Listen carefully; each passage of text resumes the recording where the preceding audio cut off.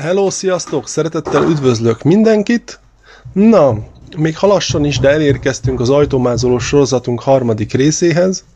Ebben a részben az ajtólapot fogjuk alapozni. Ugye az első részben az előkészítő munkákat végeztük el, csiszoltunk, impregnáltunk, tapaszoltunk és akriloztunk, majd a második részben lealapoztuk az ajtótokot, amit sajnos a rossz fényviszonyoknak köszönhetően egy másik ajtótokon mutattam meg, de ettől függetlenül szerintem a videó nem lett rossz, azért el lehet rajta igazodni. Miután kész van az ajtótok alapozása, már kezdődhet is az ajtólap alapozás, amit én itt már el is kezdtem.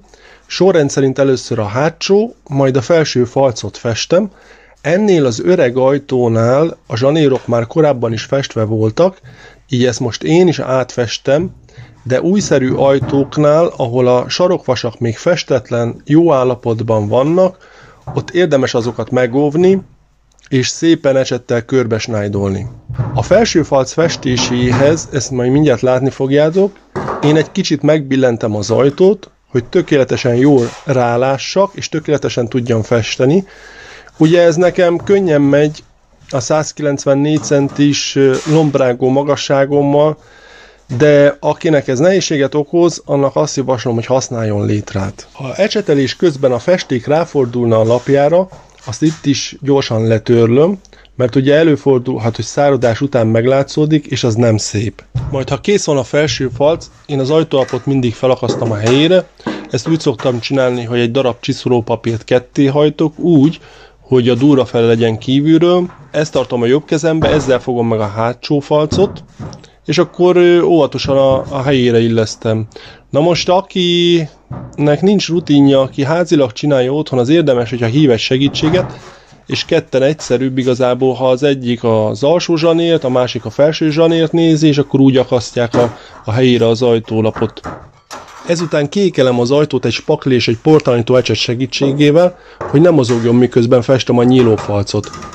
Itt ezzel a régi zárszerkezettel ugyanaz a helyzet, mint a sarokvasnál volt, korábban már átfestették egy jó párszor, így ezt most én is festeni fogom, viszont ha, ha még nem volt festve, akkor azt szoktam csinálni, hogy ragasztószalagból letépek körülbelül egy 5-10 centis csíkot, majd ezt papírgalacsin formára összegyúrom úgy, hogy a ragasztós fele legyen kívül, majd a kilincset lenyomom, hogy a zárnyelv visszamenjen a helyére, és utána a galacsint, amit a rakszalagból gyúrtam, benyomom a nyelv mellé, hogy a nyelv ne tudjon kijönni újra.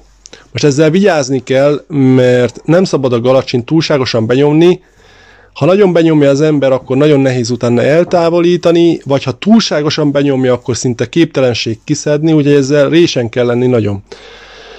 Ha ez megvan, akkor igazából egy sík zárszerkezetet kap az ember, amit már onnantól kezdve nagyon könnyű leragasztani. Úgy szoktam ezt leragasztani, hogy a ragasztószalagot az egyik felénél illesztem, majd ugye a zárszerkezetnek mindig van egy éle, azt körömmel ott jó benyomkodom a ragasztószalagot, és utána egy ilyen kartonvágó késsel körbevágom. Viszont persze a legjobb az, hogyha ha az ember kiszedi a zárat, de ugye ez nem mindig lehetséges, mert van úgy, hogy a csavar már bele van szakadva, vagy, vagy, vagy egyszerűen képtelenség kiszedni, én ebben az esetben mindig leszoktam ragasztani. Fel lett falcolva az ajtó, és már el is kezdtem az ajtó lapjának a festését. Én mindig a külső oldalával szoktam kezdeni, igazából ugye frissen vannak festve a, a falcok, és ilyenkor még néha leszoktam csekkolni, hogy esetleg nem-e folyik a festék valahol, Néha előfordul, hogy a sarokvasaknál egy kicsit ö, csordogál, olyankor rászoktam ecsettel egy kicsit tufolni. Na most korábban is a hasonló színre festették az ajtólap külső oldalát, ezért ez most nem lesz túl látványos, de ettől függetlenül megpróbálom nektek a legjobb tudásom szerint bemutatni a legfontosabb dolgot, a technikai sorrendet. Arra gondoltam, hogy az ajtólap külső oldalán megmutatom, hogy szerintem hogyan kell helyes sorrendbe haladni a mázolással, míg a belső felén szeretnék nektek mutatni egy példát, hogy hogyan ne csináljátok. Én kazettás ajtólapnál mindig belülről haladok kifelé, ami annyit jelent, hogy először kifestem a bélést, illetve ezt a kazettás részt, majd végül az ajtó külső lapját. Ezeket a kazettás részeket úgy szoktam, hogy először ecsettel szépen körbesnájdolom a sarkokat, majd felhordok annyi anyagot, hogy, hogy az elég legyen, tehát hogy ne legyen túl sok és ne legyen túl kevés, majd vízszintesen eloszlatom, és szépen függőlegesen kigurítom. Itt egy speciális eset van mondjuk, mert ez az ajtó nem csak szimplán kazettás, hanem van egy üvegbetét is a felső részében. Ebben az esetben szerintem a legjobb sorrend, ha az ember kifesti a két alsó betétet, majd besnájdolja az üvegbefogó léceket, lehetőleg úgy, hogy a festék ne forduljon ki a lapjára, majd végül nincs más hátra, mint az ajtó lapjának a festése. Aki egy kicsit csalódott lenne, mert szeretne otthon ajtólapot mázolni, de viszont nem kazettásak az ajtólapjai, hanem teli ajtólapok vannak a lakásban, annak szeretnék szólni, hogy ne legyen csalódott, mert ha ez a sorozat lemegy, akkor fogok majd teli ajtólapokat is mázolni, megnézzük, hogy hengerrel teli ajtólapot hogy lehet tükör simára megcsinálni, szóval lesz még ilyen videó is. Biztosan láttátok már korábbi videóban is, hogy én szinte mindig használok fényszórót a munkákhoz, és ez nem csak azért van, mert olyan vak vagyok, mint a vakont, hanem mert ha surlódó fényt alakít ki az ember a felületre, akkor tényleg minden szarság látszódik a felületen, ha esetleg frissen beleesne valami szemét, akkor azt még gyorsan ki lehet szedni. Én ezt csak ajánlani tudom a fényszóró használatát, ez nagyon jó dolog. Amíg festem az üvegbefogó léceket, szeretnék egy dologra kitérni, Ugye kérdeztétek, hogy lehet-e szivacshengerrel fafelületet mázolni. Nos, én csak is és kizárólag velurhengert használok mázoláshoz, függetlenül attól, hogy vizes vagy oldószeres festékkel dolgozok. Persze ezzel nem azt akarom mondani, hogy csak is ez a tuti eljárás, mert úgy 15 évvel ezelőtt igazából csak ecsettel mázoltunk ajtólapokat, legtöbbször, ha lehetőség volt rá, akkor befektettük a lapokat lakkálványba, illetve ha aznap kellett mindkét felével kész lenni, akkor állítva, de állítva is ecsettel mázoltuk. Én anna egy párszor kipróbáltam a szivacshengert, de megmondom őszintén, nekem többnyire légbuborékos lett, lett tőle a felület, meg mint hogyha nehéz lett volna vele eldolgozni az anyagot. Én úgy éreztem, hogy a szivacs megszívta magát anyagga is, nekem olyan volt, mint hogyha mindig lenne anyaga a szivacsba. Ugye velur henger esetén nagyon gyorsan ki tudja az ember dolgozni úgy, hogy szinte alig van a hengerbe festék, és utána könnyű vele oszlatni. Én nekem a velur henger az jobban bevált, nekem könnyebb vele dolgozni, szerintem szebb felületet lehet vele képezni, de ez csak az én véleményem, ezért én ezt szoktam ajánlani igazából. Mint ahogy Rómába is, ahogy szokták mondani, több út vezet, úgy a, a szép ajtomázolás is szerintem többféleképpen lehet elvégezni. Van akinek ez, van akinek az válik be. A velour henger választásánál csak arra kell figyelni, hogy lehetőleg minél rövidebb szálú hengert válasszon az ember, és lehetőleg ne azt az olcsóbb szöszölős fajtát. Na, közben már körbe is nájdoltam az üveget, és el is kezdtem gurítani a lapját. Én úgy szoktam, hogy ezt a négy vízszintes részt kigurítom először, és a két függőlegessel fejezem be, de ez igazából teljesen mindegy, milyen sorrendben csinálja az ember. Az a lényeg, hogy nem szabad ö, hagyni kiszáradni a festéket, tehát a lényeg az, hogy gyorsan, lehetőleg gyorsan mindenhol ö, nedves a nedvesbe kell dolgozni, hogy ne látszódjanak meg az összedolgozások. A rozettákat, illetve az ajtócímeket érdemes leszerelni, így egyszerűbb a festés, és biztos, hogy nem lesz festékes.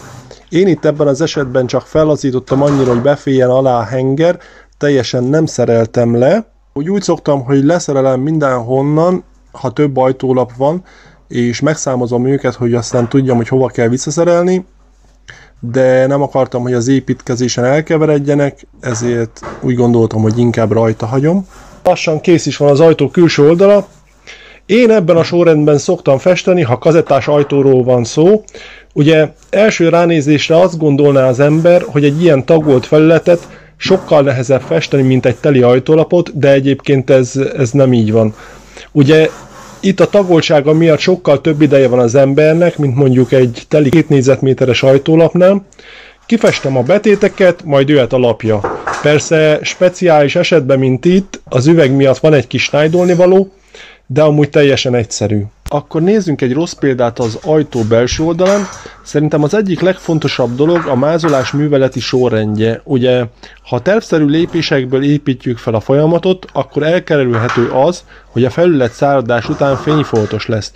Most itt a fényfoltosságnál arra gondolok, hogy amikor abba hagyja az ember a, a mázolást, illetve a festést egy helyen, és egy másik helyen halad tovább, és az előző helyen, ahol abba hagyta, ott megszikkad a, a festésnek a széle, majd utána folytatná tovább, és újra rámegy arra a felületre, akkor ott valószínűleg már meghúzott az anyag, és ez miatt be fog mattulni. Tehát ezért szoktuk használni azt a szót, hogy fényfoltos lett a felület, tehát, és az nem szép. Ugye ezért fontos, szépen sorrendbe haladjon az ember, és tényleg úgy, ahogy szoktuk mondani, nedvest a nedvesbe festeni, nem szabad hagyni megszikkadni a festéket, és akkor a végén szép egyöntetű felületet kap az ember. Persze ez leginkább a készrefestésnél mérvadó, de én ettől függetlenül már az alapozásnál is arra szoktam törekedni, hogy ne hagyjuk félbe olyan felületet, ahol meglátszódhat az összedolgozás. De erre majd mindjárt mutatom a rossz példát, amit nálunk tanulók is elég gyakran el szoktak követni. Viszont amíg festem a két betétet, szeretnék kicsit kitérni az ecset választásra.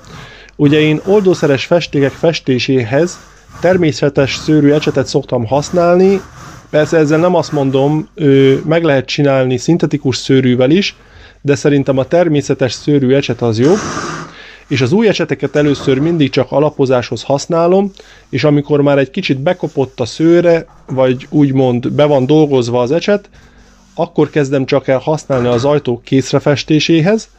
Ez ugye azért van, mert eleinte előfordulhat, hogy hullik egy kicsit az ecset szőre, meg amúgy rövidebb szőrű ecsettel sokkal a könnyebb a snájdolás is, Használat után nem szoktam tökéletesen oldószerre kimosni az ecseteket, igazából iszonyat mennyiségű higítóra lenne szükség. Én azt szoktam, hogy erre a célra van egy ilyen hermetikusan zárható dobozom, aminek a zajába szoktam tölteni egy egészen kevés lakbenzint, és utána lezárom, külön szoktam tárolni a fehér, illetve a színes ecseteket, és amikor újra használnom kell, akkor egy kicsit jobban kinyomkodom belőle a, a festéket, és utána alaposan kicsapom belőle a higítót. Szerintem ez egy jó dolog, mert a lakbenzintől egy kicsit, a lakbenzin gőztől tulajdonképpen egy kicsit összeáll az ecset szőre, és nagyon jó rugalmas lesz tőle, utána szuper vele nagyon snájdolni. Na és itt láthatjátok, hogy az egyik baklövés már el is követtem, méghozzá az, hogy a két betét között belegurítottam a napjába, ugye a vízszintes rész már meggurítottam, és ez, és ez ugye nem jó, mert ez itt addig fog szikkadni, amíg végül is be nem snájdolom a, az üvegbefogó léceket, és el nem kezdem gurítani a lapját. Na de jön még több is, úgyhogy de addig még szeretnék beszélni arról, amiről már volt szó, Ugye, ahogy már az ablakmázolós videóban is mondtam, én nem szoktam tedélehúzó rácsot használni a mázoláshoz, Igazából a gyári festékes dobozból soha nem szoktam dolgozni, ilyen 5 kilós dobozban, mint amit itt is láttok, ilyenbe szoktam tölteni annyi festéket, hogy kényelmesen lehessen belőle mártogatni a hengerrel. Egy ilyen ajtólaphoz kb. 2-3 deci festéket szoktam vételezni, így nem túl sok festék van a vödör aljában, és így ha a vödröt egy kicsit félrebillentem, akkor elég jól lehet az anyagba gurigatni a hengert. De van úgy, hogy csak a henger végét mártom a festékbe, és a felületen szépen ledolgozom róla az anyagot. Szerintem azért is jobb, ha nem gyári festékes dobozból dolgozik az ember, hanem csak körülbelül annyit tölt ki belőle, amire szüksége van, mert úgy a gyári maradék festék mindig tiszta marad. Itt az üveget nem ragasztottam le, mert az üvegbefogó léc és az üveg között van egy kis rés, és nagyon könnyen snájdolható, meg hogy ne lehessen belátni a fürdőszobába, annó dombormintás katedrál üveget építettek be, aminek a rustikus oldalát elég nehéz leragasztani úgy, hogy ne folyjon be a festék a ragasztószalag alá. Ha egy kicsit kifordul a festék a külső lapjára, azt itt is letörlöm, és ha esetleg az ecsettel hozzáérnék egy kicsit az üveghez, azt általában száradás után ezzel a kartonvágó késsel szoktam egy kicsit lekapirgálni, megtisztítani. Na hát úgy gondolom, hogy a kazettás ajtólap alapozásáról mindent elmondtam, de ha esetleg lenne még nyitott kérdés, ami elkerülte volna a figyelmem, azt írjátok meg, és ha tudom, nagyon szívesen megválaszolom. Nem egy bonyolult munka, én szeretnélek titeket arra bántorítani, hogy ha nem akartok festőt hívni, szeretnétek ezt a munkát önállóan elvégezni, akkor ne féljetek belevágni. A követendő sorrend legyen számotokra az ajtó külső oldala, ahol minden szépen tervszerűen építettünk fel. Ebben a sorozatban most a festék fajtájára és higítására nem térek ki, mert itt egy holland festéket használok, ami Magyarországon még nincs forgalomban, de mint ahogy mondtam, hamarosan lesz teli ajtólapmázolás, amit Magyarországon kapható zománc festékkel fogunk elvégezni. Ennek az ajtómázoló sorozatnak jövő héten jön a negyedik egyben befejező része, ahol leellenőrizzük a lealapozott megszáradt felületet, majd ha esetleg találunk még rajta hibákat, hiányosságokat, azt kigitteljük, de itt már nem két komponensű gittet fogunk használni, majd gittelés után foltszerűen lealapozzuk a kiflekkolt helyeket, utoljára még finoman megcsiszoljuk és készre mázoljuk. Remélem hasznos volt számotokra ez a videó, és kellő részletességgel kitértem mindenre, ami kérdésként felmerülhet. A videó álló formátumáért ezer bocsánat srácok, de ez megint egy olyan helyzet volt, ahol jobbnak láttam így felvenni a munkafolyamatot. Próbáltam vízszintesen beállítani, csak úgy nagyon távolról kellett volna felvennem, és még ennyi sem látszódna, mint most. Nagyon szépen köszönöm, hogy ma is velem tartottál, ha esetleg új vagy a csatornán, akkor írj kommentet, iratkozz fel, használd a like és a dislike gombokat a véleményed kifejezésére. Én jövő héten újra jövök egy újabb tartalommal, addig is legyetek rosszak, sziasztok!